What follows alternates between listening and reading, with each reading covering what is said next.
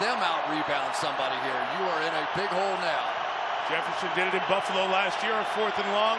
Similar fourth and 25. Gotta have it. Dobbs with time. Loads to the middle. Incomplete. And the Broncos will win.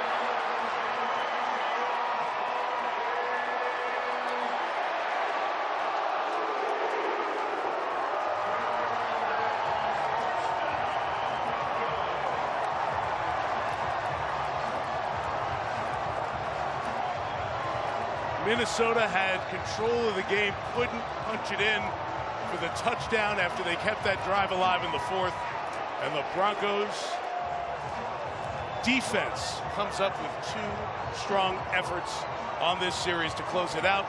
Melissa will interview the star of the game on the Chevrolet postgame, and Chris and I look ahead to Thanksgiving night, the 49ers and the Seahawks in just a few seconds. The Minnesota five-game win streak will end in 16 seconds. This is the 45th anniversary. Pisarcik fumble. Scooped up by Herm Edwards, but not tonight.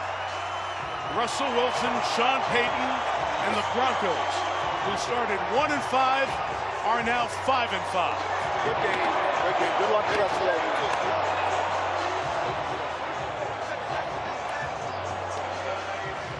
And Josh Dobbs drops his first start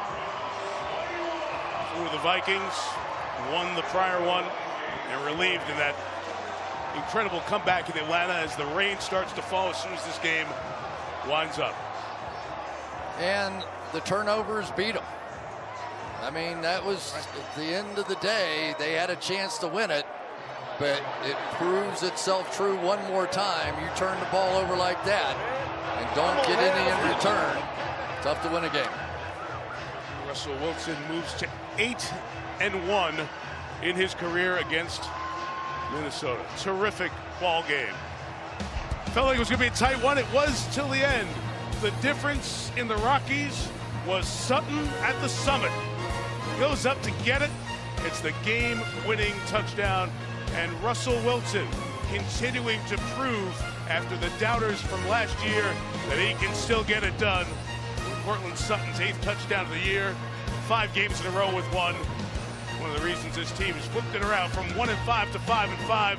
Josh Dobbs and the Vikings still very much in the picture in the NFC. Couldn't find the miracle this time around. Broncos 21, Vikings 20. Chevrolet postgame is coming up. But first, these messages from your local NBC station.